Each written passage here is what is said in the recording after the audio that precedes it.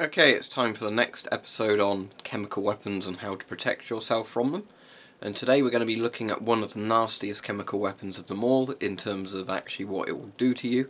Um, it's not actually that efficient at killing. Well, we'll be going into that because I'm going to be covering more than one gas in this video.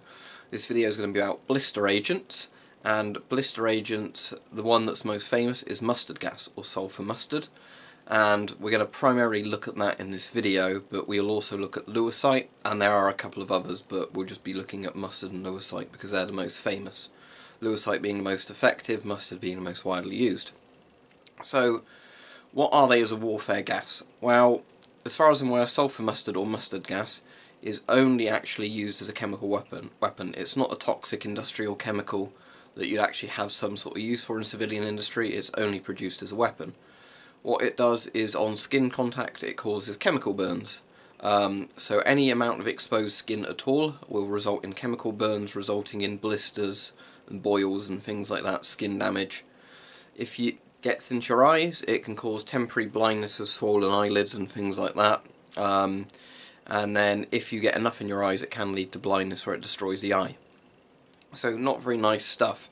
Now, you can die from inhalation of mustard gas, but weirdly it's not that effective at killing through inhalation.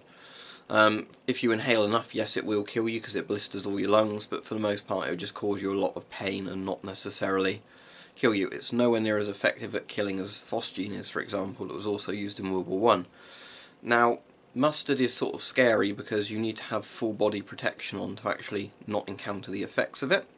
So if you were to protect yourself from it, you'd first need a respirator on, and then you'd need a full body chemical suit on as well.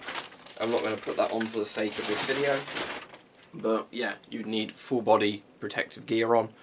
You could, you know, obviously improvise that with raincoats and things like that, but the point is you need waterproofs on that are going to stop the fluid touching your skin. Now, the weird thing is with mustard gas is it can apparently take up to 24 hours from contact with the chemical in your skin or inhaling it before it actually starts causing you injury. Now, I have no idea why this is. There's a big, long scientific explanation on Wikipedia if you want to read into it, but as I said, I'm not a chemist or a biologist, so I want to know that the stuff's bad and how to protect yourself from it, but not necessarily why it takes a day um, once you've been exposed to it for it to affect you. Now, if you did know that you'd been affected, what you'd need to do is get rid of your clothes as quickly as possible. The issue is with mustard is it soaks into your clothes, the chemical sort of vapour from it, if it soaks into your clothes you're actually permanently having more of the stuff touching your skin. So that's apparently a mistake lots of soldiers have made in the past. They've got their clothes soaked with mustard gas, then it's touching their skin and they're inhaling vapours coming off of their clothes without realising it, uh, leading to be much more likely to die or be more severely wounded than if they'd have, you know, pulled the clothes off straight away and uh, evac the area or decontaminated themselves. So, yeah, mustard gas, quite nasty stuff obviously. Uh, you don't want it to touch your skin or inhale it. But blister agents got even nastier when something called Lewisite was made, and what Lewisite was, was essentially a nastier version of mustard gas. So Lewisite generally causes instant effects when it touches you. I don't think it's actually that similar a chemical. They're both blister agents, they do the same thing, but they're not, you know, the actual same chemical family as far as I understand. What Lewisite does, it touches your skin, and then immediately it starts causing chemical burns and chemical damage to your skin. Now, inhalation like mustard gas seems to be quite inefficient at killing, but if you inhale enough it will kill you.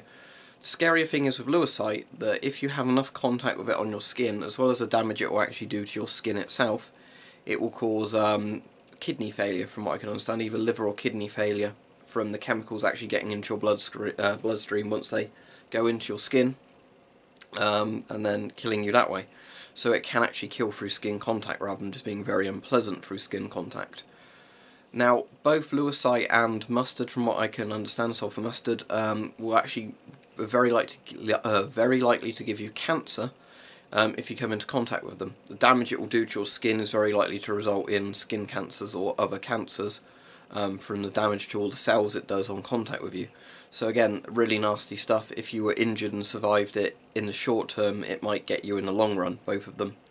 So really nasty chemical agents. It's obviously obvious why they were banned.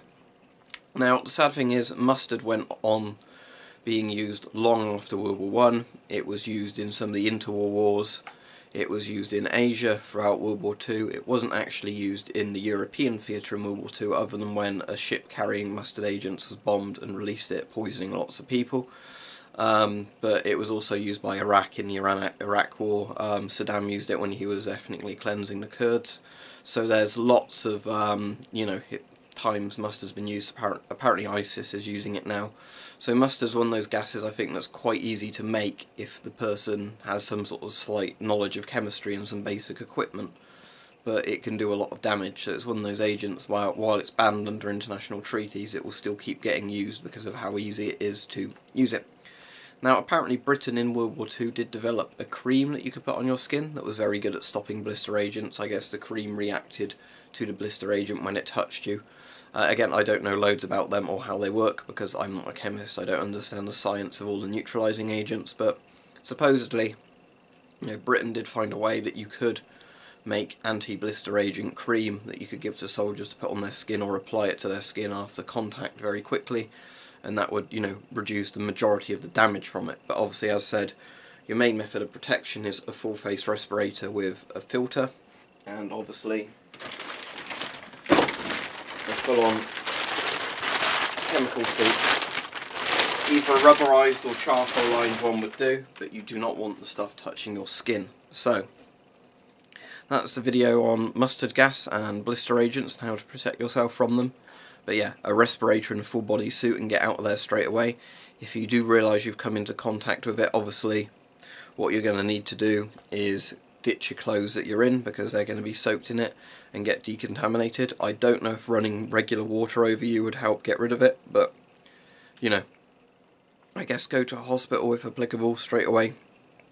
Let a trained doctor deal with it. But yeah, mustard gas and blister agents are very nasty and you're going to need quite a serious amount of protection to actually not be affected by them. A mask itself is not enough. If you only had your mask on and no um, chemical suit on or waterproof clothing, all the rest of your body's going to be blistered up, red raw, and then eventually you'll die of cancers or blood poisoning through the uh, chemicals touching your skin.